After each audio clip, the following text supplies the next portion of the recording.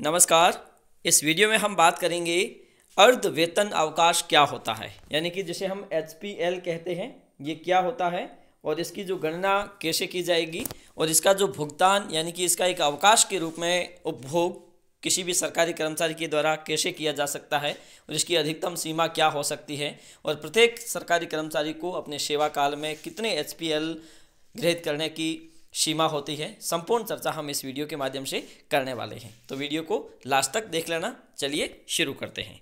सबसे पहले देखते हैं आरएसआर नियम 93 के अनुसार H P L half pay leave, अर्ध वेतन अवकाश, जिसे हम सामान्य तौर पर मेडिकल अवकाश कहते हैं, क्योंकि हम इसका उपयोग मेडिकल यानी कि चिकित्सा प्रमाण पत्र के माध्यम से ही करते हैं। किसी भी सरकारी कर्मचारी को जिसका प्रोबेशन पीरियड पूर्ण हो चुका हो परिवीक्षा काल पूर्ण हो चुका हो, उसके पश्चात प्रत्येक पूर्ण वर्ष में 20 एच प्रदान की जाती है। 20 एच प्रदान की जाएगी। अब ये दरअसल किसके आधार पे होती है? ये आपकी सेवा नियुक्ति से, नियुक्ति तिथि से, नियुक्ति तिथि तक इसके वर्ष की गणना की जाती है। मान लीजिए आपकी नियुक्ति तिथि एक जनवरी है तो एक जनवरी से इकतीस दिसंबर तक आपकी इसमें एचपीएल की गणना की जाएगी। और उस दौरान आपके खाते में आपकी सर्विस बुक में इसकी एंट्री होगी। एक वर्ष की समाप्ति के बाद आपकी सर्विस बुक में बीस एच जोड़ दी जाएगी।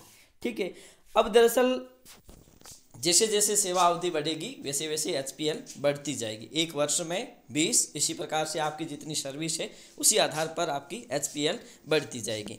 अब दरअसल एचपीएल और पीएल, इन दोनों में अंतर ये होता है कि पीएल जो हम संग्रहित करते हैं उसका हमें नकद भुगतान सरकार की ओर से किया जाता है अधिकतम 300 के रूप में। लेकिन जो एच है, आप कितनी भी संग्रहित कर लो, आपकी सेवानिवृत्ति के समय आपको इसमें कोई विशेष फ़ायदा नहीं होने वाला। अगर आप उपभोग नहीं करते तो वो लेप्स हो जाते इसमें किसी प्रकार का नकदीकरण नहीं होता है।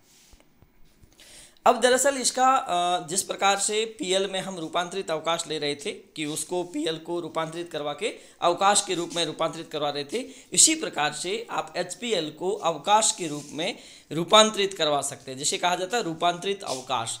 ये कैसे किया जाएगा? ये दो आधार पर किया जा सकता है। एक तो चिकित्सा प्रमाण पत्र के आधार पर, दूसरा निजी कारणों से। एचपीएल का मतलब ये होता है, अगर आप इस छुट्टी का उपयोग करते हैं तो आप महीने के आधा पे ले सकते हैं। मान के चलिए आपके पास तीन छुट्टी तीस छुट्टी तीस HPL है।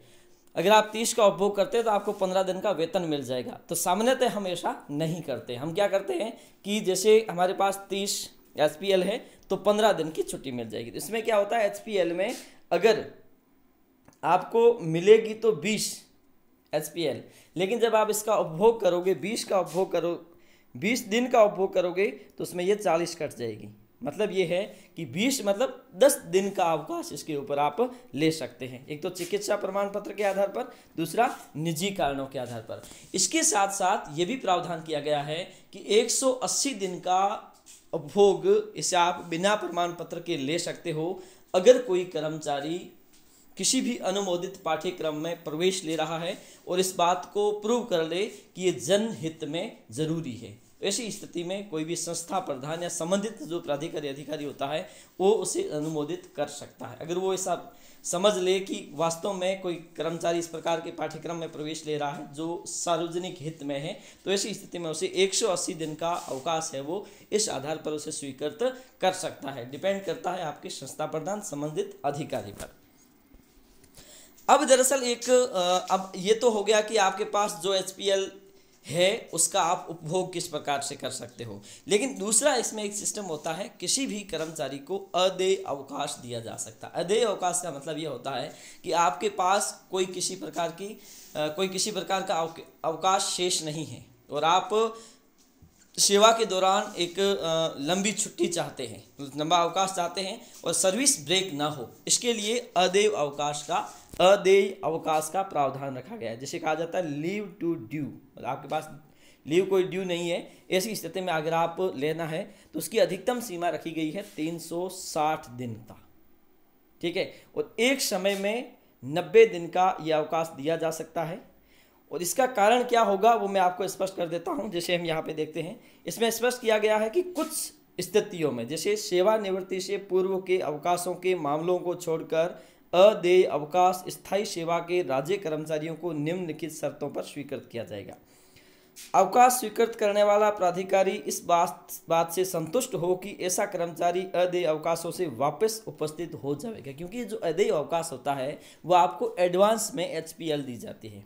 मतलब जैसे कि आपने अभी आपको, आपके पास कोई एचपीएल नहीं है और आप चाहते हो कि आपको तीस दिन की छुट्टी चाहिए, तीस दिन का अवकाश चाहिए तो ऐसी स्थिति में आपका जो संबंधित प्राधिकारी होगा, वो आपको लिख के दे देगा, आप छुट्टी पे जा सकते हो और आपके ये जो तीस दिन है, आप आने वाले वर्षों में जो अर्जित करोगे एस वो उसमें लैप्स होती जाएगी। और जब आप ये अधे अवकाश लोगे तो आपकी सर्विस बुक में इसकी एंट्री होगी कि डेबिट के रूप में। मतलब आपकी जो सर्विस बुक में एंट्री की जाएगी कि इसे खर्च कर दिया गया है तीस का। और जैसे जैसे आपकी सर्विस आगे बढ़ती जाएगी, प्रत्येक वर्ष में जो बीस एच मिलेगी, उसमें ये सारी चीज़ें लैप्स होती जाएगी। अब ये सारा डिपेंड करेगा आपके संबंधित संस्था प्रदान पर। संबंधित जो प्राधिकारी अधिकारी है, उस पर डिपेंड करेगा कि वो आपको देता है या नहीं देता है।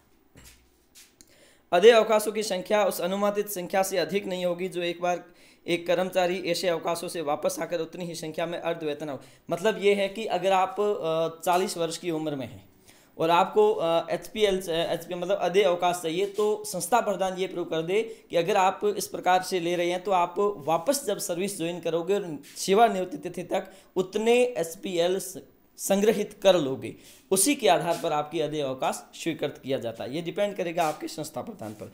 और संपूर्ण सेवा काल में 360 से अधिक अदय अवकाश किसी भी स्थिति में नहीं दिया जाएगा। एक समय में 100 एक समय में 90 दिन से अधिक नहीं होगा और 180 दिन का जो अवकाश है, वो चिकित्सा प्रमाण के आधार पर दिया जाएगा और अन्य आधार पर शेष अवकाश दिया जा सकता है। मतलब आधा अवकाश आपको मतलब 360 में से 180 दिन का अवकाश है, वो चिकित्सा प्रमाण पत्र के आधार पर होगा और अन्य जो शेष रहेगा, वो आपको अन्य किसी कारण से दिया जा सकता है।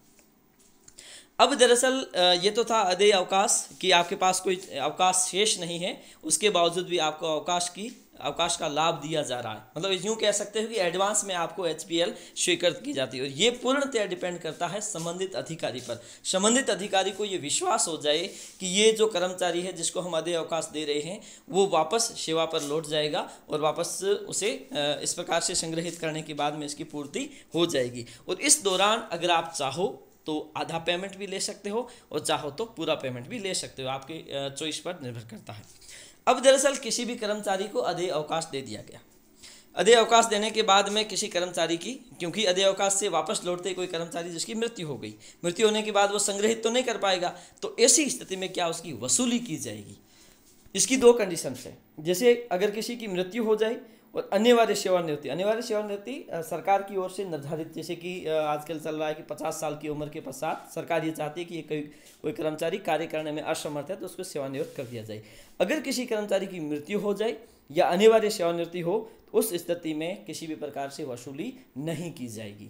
अगर कोई कर्मचारी अपने पद से त्याग पत्र दे दे या फिर उस कर्मचारी को सेवा से निष्कासित कर दिया जाए तो उस कर्मचारी के खाते से, जो उसके शेष अन्य अवकाशों से जो नकदीकरण होना है, उसके माध्यम से उसकी वसूली की जाएगी। तो इस प्रकार से आप समझ सकते हो कि एचपीएल जो होता है, ये किस प्रकार से कोई कर्मचारी गृहित कर सकता है और इसका उपभोग कैसे किया जा सकता है। तो आज के लिए इतना ही, धन्यवाद।